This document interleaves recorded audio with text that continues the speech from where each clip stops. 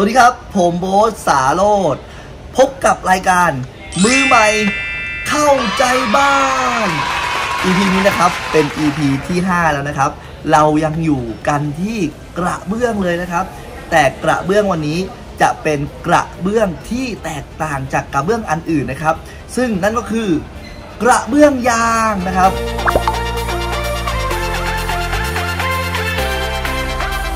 รที่อยากรู้นะครับ เกี่ยวกับกระเบื้องยางนะครับ วันนี้ห้ามพลาดเลยนะครับ ที่สำคัญก็คือกระเบื้องยางเนี่ยสามารถปูได้ด้วยตัวเองนะ แล้วก็ไม่เลอะเทอะเปิดเปื้อนเหมือนกระเบื้องอื่น ๆด้วยนะครับกระเบื้องยางปูง่าย ปูได้ด้วยตัวเองนะครับ เดี๋ยวเป็นยังไง เดี๋ยวเรามาดูกันตามมาได้เลย ด้านซ้ายมือของผมนะครับ ตรงนี้เป็นกระเบื้องยางทั้งหมดนะครับ จะสังเกตนะครับ ถ้ามองจากภาพนะครับ จะเป็นลายไม้ซะส่วนใหญ่นะครับ ซึ่งลายไม้เนี่ยก็มีหลายเฉดสีนะครับ ไม่ว่าจะเป็นสีเข้มเนี่ยแบบนี้ก็คือจะเป็นสีโอ๊กนะครับ อันนี้เป็นสินค้าใหม่ด้วยนะครับ ก็เป็นสีโอ๊กก็มีจะเป็นสีไวท์โอ๊กนะครับ ก็คือโอ๊กสีอ่อนๆก็มีนะครับ หรือจะเป็นสีพวกอารมณ์เหมือนแบบไม้สักก็มีนะครับ ประมาณนี้นะฝั่งนี้ก็ยังเป็นกระเบื้องยางอยู่เหมือนกันนะครับ ซึ่งกระเบื้องยางตรงนี้เนี่ยก็ให้อารมณ์เหมือน feeling เหมือนไม้เลยนะครับว้าวและที่สำคัญก็คือ ขอบของกระเบื้องยางเนี่ยเป็นตัดขอบนะครับเวลาเอามาต่อกันเนี่ยคุณแทบมองไม่เห็นรอยต่อเลยนะครับ อันนี้ให้อารมณ์ feeling แบบไม้ ลูบโอ้โหมันคือแบบ texture ที่แบบผิวสัมผัสของของมือนะครับเมื่อไปสัมผัสเนี่ยผมรู้สึกได้เลยนะครับว่ามันเป็นอารมณ์แบบเหมือนพื้นลามิเนตดีๆ นี่เองนะครับนะครับ แล้วก็แบบมันเรียบมากนะครับ ดีเลย ดีเลย อารมณ์แบบไม่ลื่นเหมือนกระเบื้อง ถ้ากระเบื้องเนี่ย texture ของเขาจะเป็นสไตล์แบบเงาเงาไม่ก็ด้านๆแต่ผิวสัมผัสของเขาเนี่ยจะไม่เหมือนแบบนี้ ถ้าแบบเนี้ยให้ความรู้สึกให้อารมณ์ให้ feeling เหมือนลามิเนตนะครับเพราะว่าเวลาเราสัมผัสไปแล้วนะครับ มันมีความยืดหยุ่นของตัวมันเองนะครับ และเวลาผมรูปเนี่ยมันไม่ได้เรียบจนแบบเงาเหมือนกระเบื้อง แต่ยังให้ผิวสัมผัสที่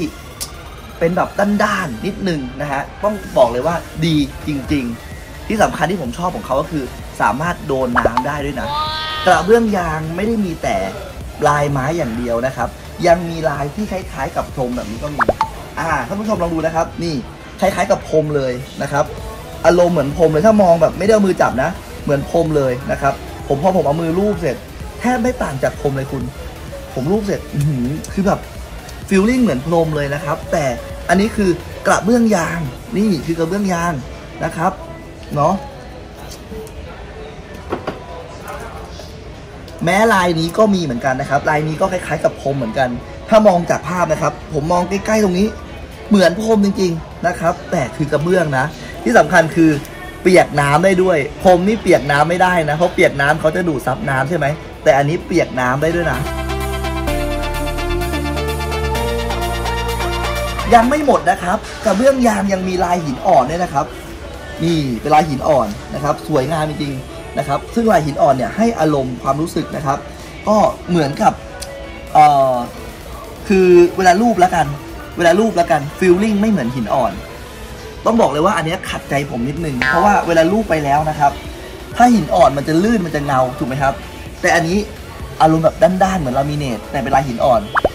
feeling ของผมไม่ผ่าน แต่ถ้าใครชอบก็จัดได้นะครับ อันนี้ก็เหมือนกัน อันนี้ก็ก็เป็นคล้ายๆกับแบ็ก m ม p เปิลนะครับ ก็คือเป็นหินอ่อนสีดำนะครับ ก็เหมือนคล้ายๆสีขาวนั่นแหละ feeling ความรู้สึกนะครับ texture ที่เราได้สัมผัส มันไม่เหมือนหินต้องบอกตรงไม่เหมือนหิน ถ้าหินมันจะเงาแล้วลื่นนะครับ แต่นี้มันด้านๆนะครับ ก็ถ้าใครไม่ต้องการลื่นก็แนะนำอันนี้นะครับ กระเบื้องยางผลิตจาก PVC นะครับ ซึ่งสามารถโดนน้ำได้อย่างที่เรียนไปให้ทราบข้างต้น ผิวสัมผัสนุ่มนะครับละเอียดนะครับเวลาหกล้มไป หัวเข่าไม่ถลอกปอกเปิดแน่นอน แต่ข้อเสียของเขาก็ยังมีนะครับกระเบื้องยางพวกนี้เนี่ยผิวและสัมผัสของเขาเนี่ยจะสึกได้ง่าย พอมันสึกแล้วเนี่ยผิวสัมผัสเดิมที่ติดใหม่ๆเนี่ยมันจะคนละความรู้สึกกัน ดังนั้นกระเบื้องยางพวกนี้จึงไม่เหมาะกับการไปปูห้องใหญ่ๆ ที่เป็นสไตล์โมเดิร์นนะครับกระเบื้องยางนะครับ ส่วนมากเนี่ยเขาจะไปปูพวกสำนักงาน หรือปู ห้องนั่งเล่น ห้องเด็กเล่น อะไรพวกเนี้ยได้ แต่ถ้าจะไปปูห้องโถงใหญ่ๆที่เป็นสไตล์ modern นะครับที่เอาไว้โชว์เป็นห้องรับแขกเนี่ยผมแนะนำเป็นกระเบื้อง porcelain หรือกระเบื้องเซรามิกนะครับอย่างที่เคยถ่ายไปที่ EP ที่1นะครับแนะนำเป็นกระเบื้องแบบนั้นจะดีกว่านะครับกระเบื้องยางนะครับยังแบ่งออกเป็น 2 ประเภทนะครับ เป็นกระเบื้องยางที่มีกาวในตัว กับกระเบื้องยางที่ไม่มีกาวในตัวนะครับอะเดี๋ยวเราไปดูกันว่าทำยังไงตามมาครับ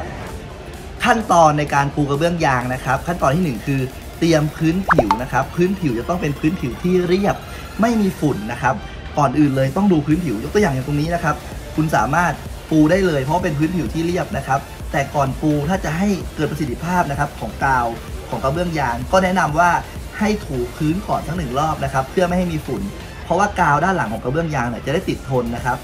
ขั้นตอนที่ 2สำหรับกระเบื้องยางที่ไม่มีกาวในตัวนะครับ ก็ทากาว โดยใช้ความหนาประมาณ 2-3มิลลิเมตรนะครับ2-3มิลคือบางๆนี่เองนะครับ ไม่ต้องหนามาก จากนั้นเนี่ยคุณก็ปูไปเลยนะครับ ขั้นตอนที่ 3 ทิ้งไว้ประมาณ 3 ชั่วโมงเป็นอย่างน้อยนะ ประมาณ 3 ชั่วโมงเป็นอย่างน้อย แล้วค่อยเคลือบแว็กนะครับสำหรับใครที่ต้องการเคลือบแว็กก็ทิ้งไว้ 2-3 ชั่วโมงนะครับ จากนั้นขั้นตอนที่ 4 ให้คุณเคลือบแว็กได้เลย โดยการเคลือบแว็กเนี่ยให้ทาไปในทางเดียวกัน 1 รอบรอให้แห้ง จากนั้นถ้าคุณรู้สึกว่ามันยังไม่เงา ให้คุณทารอบที่2นะครับแต่การเคลือบแว็กนะครับห้ามทาเกิน 3 รอบนะครับเพราะว่าถ้าเกินเนี่ยแว็กที่เคลือบชั้นแรกเนี่ยมันจะหลุดนะครับเพราะว่าแว็กพวกนี้นะครับน้ำยามันกัด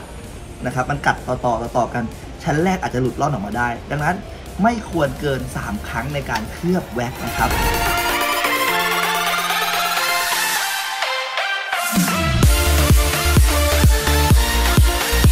แล้วก็จะเป็นกาวเหนียวๆเนี่ยหูเหนียวมากเลยคุณดูสินี่ดูนะ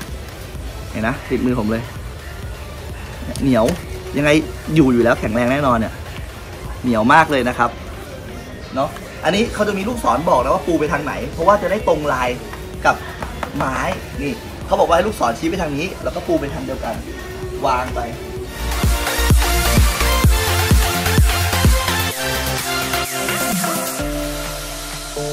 ลูกศรตรงไปทางนู้นมันจะต่อลายกัน อันนี้คือปูแบบธรรมดาธรรมดาเลยนะนะครับ แต่ถ้าจะปูแบบสลับฟันปลานะครับ เล่นลายก็สามารถทำได้นะครับนี่สลับฟันปลาเล่นลาย ก็ให้ครึ่งหนึ่งของแผ่น อ่าสมมติว่าแผ่นนี้ถึงตรงนี้ ตรงนี้ก็อยู่ประมาณครึ่งหนึ่งนะครับ มันก็จะเป็นการเล่นลาย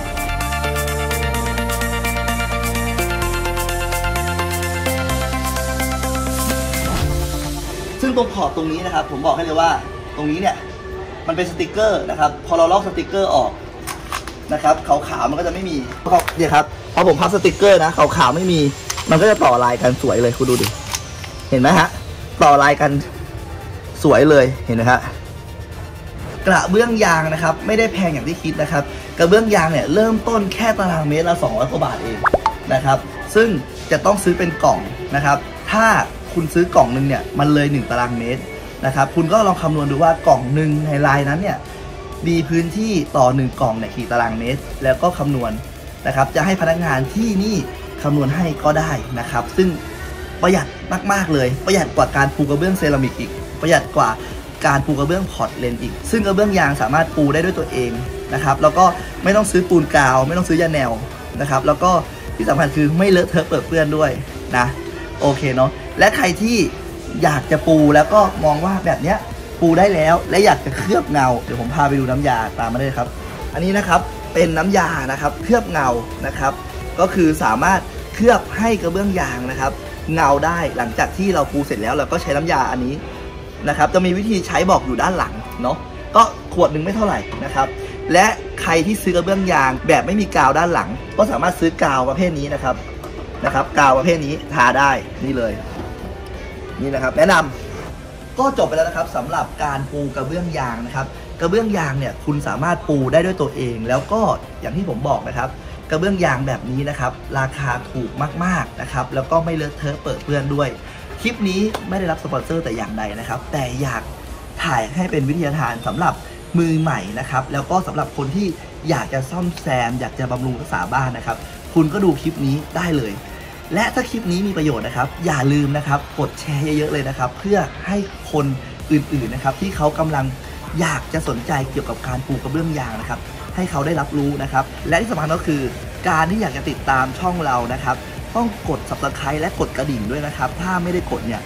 คลิปของเราที่ออกอากาศไปเนี่ยบางทีคุณอาจจะพลาดได้นะครับ และรายการนี้เป็นรายการมือใหม่เข้าใจบ้านนะครับ ออกอากาศทุกวันอาทิตย์นะครับ เวลา 8 นาฬิกาก็คือ 8 โมงเช้าเลยนะครับ รายการนี้จะเป็นรายการที่ให้ความรู้เกี่ยวกับมือใหม่ และมือใหม่เนี่ย ถ้าได้ตรงนี้ไปนะครับ คุณสามารถ